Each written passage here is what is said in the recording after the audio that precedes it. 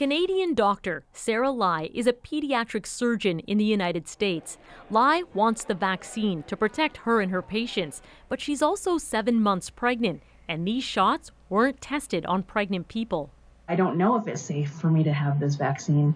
I don't know if it will be safe when I start breastfeeding um, to have the vaccine. Currently, the UK is advising those who are pregnant should not have Pfizer's vaccine. The US and Canada aren't recommending it either, but add vaccines could be offered to essential workers, for example, if a risk assessment finds the benefits of the vaccine outweigh the potential risks. That may mean to take the vaccine. That may mean to pass on the vaccine. Doctors say vaccines that use dead pieces of viruses can safely be given during pregnancy. New mRNA vaccines don't use the virus itself.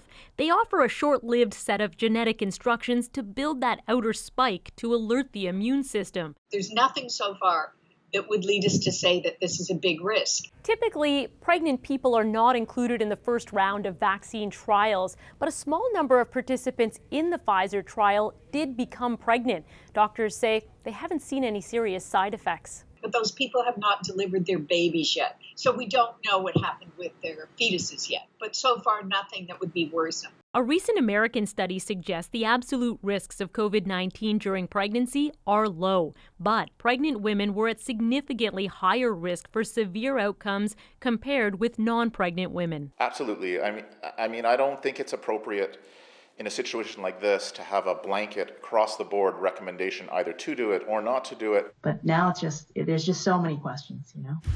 Lai says she's waiting for more data, but may get the vaccine after her baby is born in March. Christine Birak, CBC News, Toronto.